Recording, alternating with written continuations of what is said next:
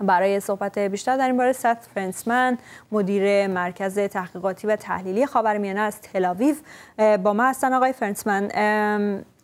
این که اتحادیه اروپا خواهان خیشتنداری اسرائیل میشه چقدر واقعا در عملکرد اسرائیل در مقابل این اعتراضات در غزه تاثیر داره؟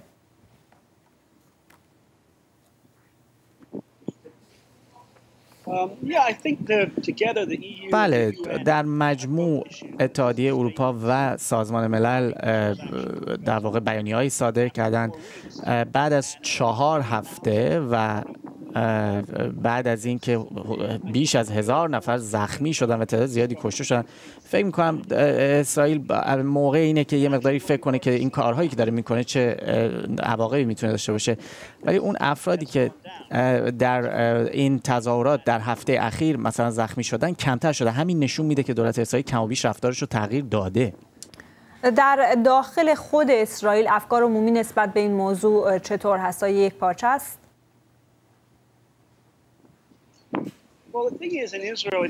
ببینید در اسرائیل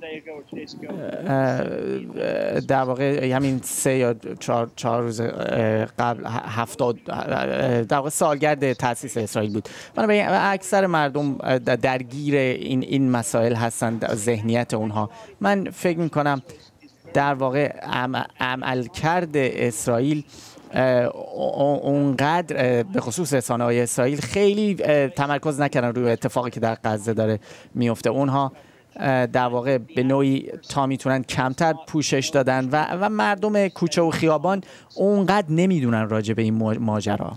همونطور که خودتون هم اشاره کردید آقای فرنسمند بعد از چهار هفته اتحادیه اروپا به این موضوع واکنش نشون میده آیا همین واکنش کم بین المللی باعث شده که رفتار ارتش اسرائیل هم نسبت به تظاهر کننده ها از قبل خشنتر شده باشه؟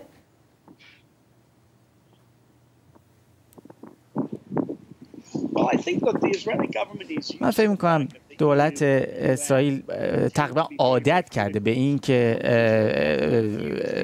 اتحادیه اروپا و سازمان ملل همیشه انتقاد داشته باشن و می اونا میگن که همیشه اتحادیه اروپا و سازمان ملل به نفع فلسطینی ها مسائل رو می‌بینن. بنابراین واکنش اونها این خواهد بود که خب این یه بیانیه دیگه ایه که محکوم می‌کنه اسرائیل رو. بنابراین چیز خیلی عجیبی هم نیست. بنابراین به همین دلیل هم اونقدر جدی نمی‌گیرن این مسئله رو.